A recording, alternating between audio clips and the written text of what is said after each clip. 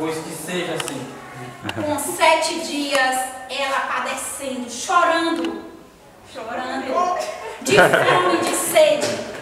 Todas as pessoas, inclusive a mulher do fazendeiro, a dona Josefa, dizia: Marido, se arrependa desse tipo de injustiça. Sabe que a Modertina é minha melhor escrava? E ela não sabia do motivo, não? Sabia?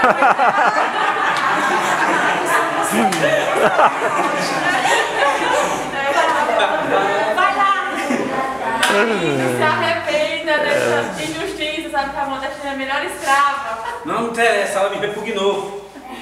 E aí, assim, três horas da tarde, o dia virou noite.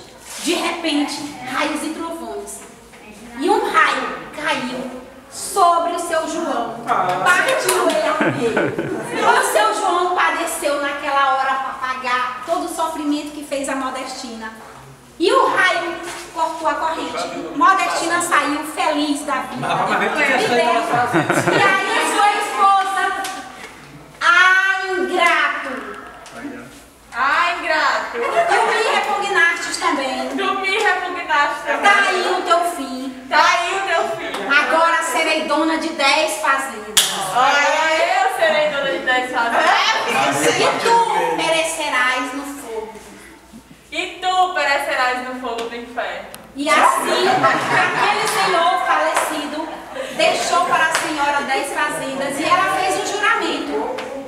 Enquanto eu viver, Enquanto eu viver, jamais olharei para a luz do sol. jamais olharei para a luz do sol. Para que todos lembrem Para que todos lembrem dos malfeitos do meu marido. dos maus feitos do meu marido. E assim, Dona Josefa casou-se novamente rica. Rapaz,